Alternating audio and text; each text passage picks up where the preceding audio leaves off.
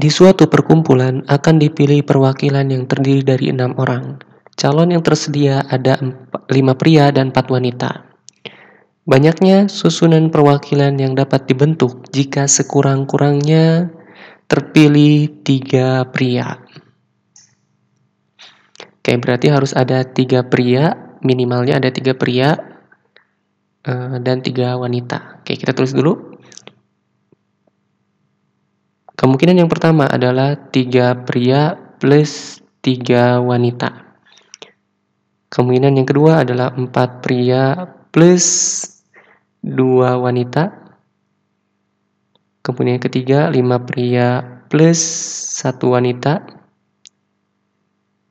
Dan yang terakhir adalah enam pria.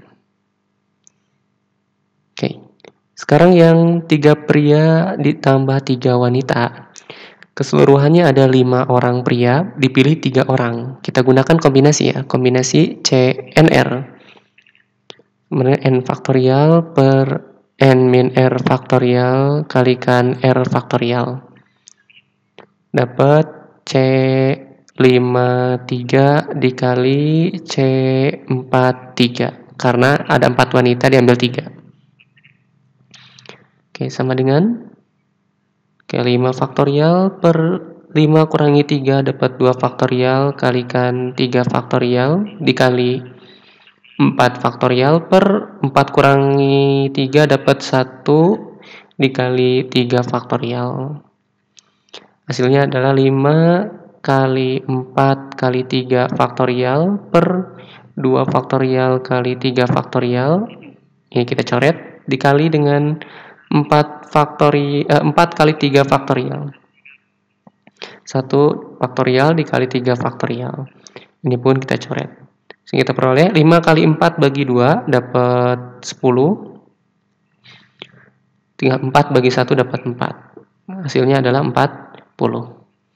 Oke, berikutnya untuk yang 4 pria dan 2 wanita. Berarti kombinasi 5 4 dikali kombinasi 42 berarti 5 faktorial. Per 5 kurangi 4 dapat 1 faktorial kali 4 faktorial.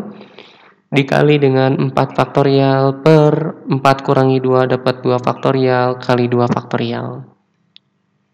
Oke hasilnya sama dengan? Ini jadi 5 kali 4 faktorial. Per 1 faktorial kalikan 4 faktorial. Dikali dengan 4 dikali 3 kali 2 faktorial per 2 faktorial kali 2 faktorial. Ini kita coret, ini kita coret.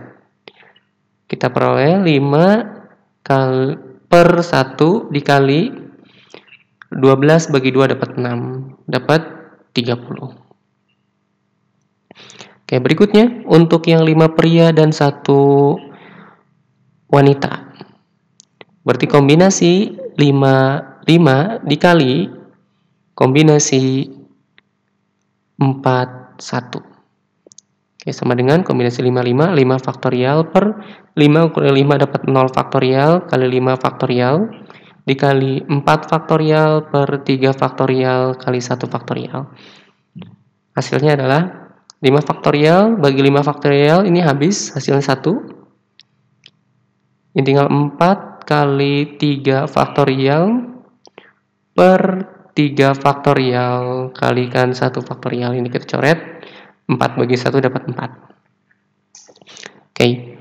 adapun untuk yang 6 pria ini nggak mungkin terjadi ya nggak mungkin terjadi kenapa karena di sini prianya cuma ada 5 oke okay. otomatis yang kita hitung cuma yang ini aja nih kita jumlahkan maka totalnya sama dengan 40 tambah 30, 70 tambah 4 dapat 74. Oke, jawabannya adalah yang D.